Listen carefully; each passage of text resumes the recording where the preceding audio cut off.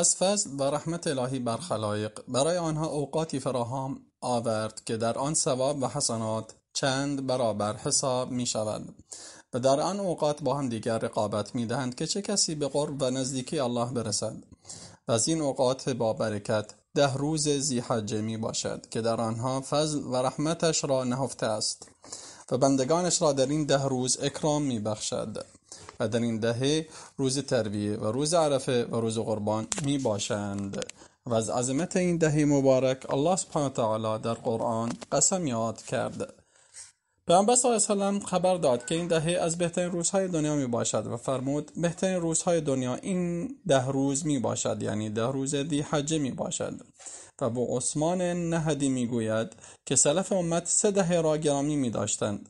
و آنها ده روز آخر رمضان و ده روز اول دی حجه و ده روز اول محرم. پس چگونه به نظرتان این دهه را استقبال کنیم؟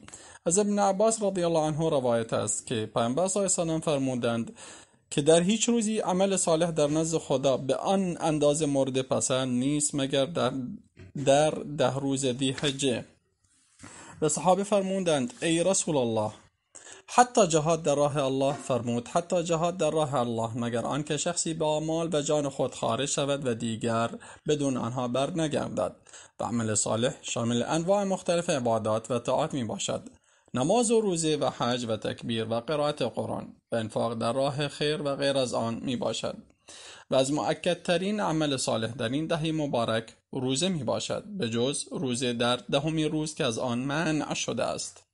و از بعضی از همسران پیامبر روایت است که پیامبر صلی الله علیه وسلم نه روز را روزه می گرفت به خصوص روز عرفه که روزه آن دو سال گناهان را می بخشود و از آن ذکر الله تعالی و تکبیر می باشد و الله تعالی می فرماید و الله را در روزهای معلوم یاد می کنند.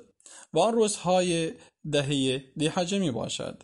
از جمله اعمال نیک حج می باشد که بهترین عمل از اعمال انجام شده در دهه دی حج می باشد. و پیامبر صلی الله علیه فرمود حج مقبول را پاداشی جز بهشت نیست. از جمله اعمال نیک این دهه مبارک قربانی می باشد و هر کس که بخواهد قربانی کند باید از اصلاح مو و گرفتن ناخون در ابتدای دهجه پرهیز کند تا وقتی که قربانی خود را سر ببرد.